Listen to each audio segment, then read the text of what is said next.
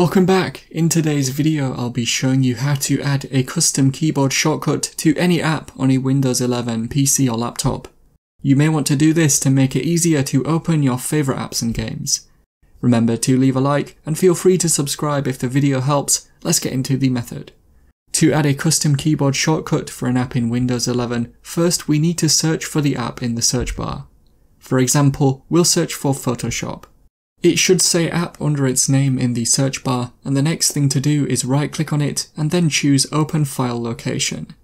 This should open File Explorer, and in here it should automatically highlight the app you chose, although if it didn't, you can find it within here. Right click on the app again and this time choose Properties, which should be near the bottom of the list. This will open a new window, and you need to make sure you're in the Shortcut tab, but you should be in there by default. Look for where it says shortcut key and then click once in the box to the right and now press the keys that you want to be the keyboard shortcut. The keys should then appear in the box and then all you need to do is click on OK or apply at the bottom to save these changes. You can now test it out to see if it worked. And so that is how to add a custom keyboard shortcut to any app on a Windows 11 PC or laptop.